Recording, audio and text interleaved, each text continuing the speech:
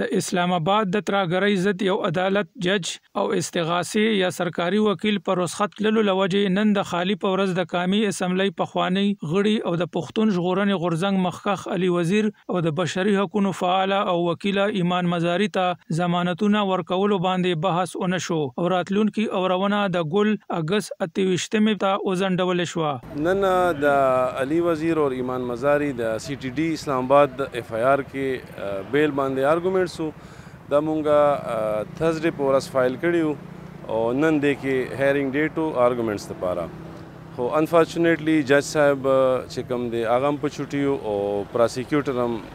ما خیال په چټي و نو دې دې وجه مونږ خو کوشش وکړو چې ډیوټي جج ته هو اني هاو زمونږ ډیټ منډې ته شو اوس به منډې ته په دې باندې دواړو اپلیکیشن باندې بحث کیږي او منډې ته به انشاءالله مونږ ته امید دی چې دې باندې به ضمانت آرډر وشي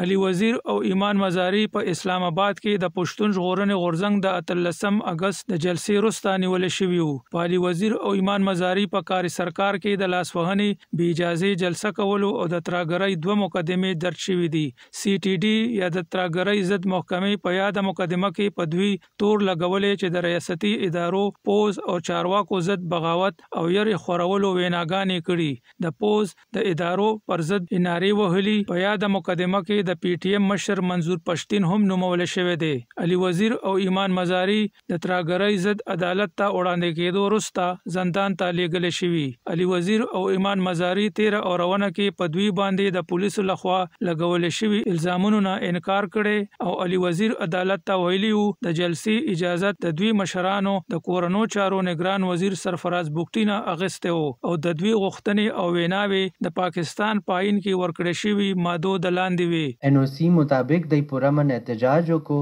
کوم چې دهشت ګردي پهلاویږي لګیا ده په مختلف علاقو کې پاکستان کې نو هغې خلاف دی اواز اوچت کړ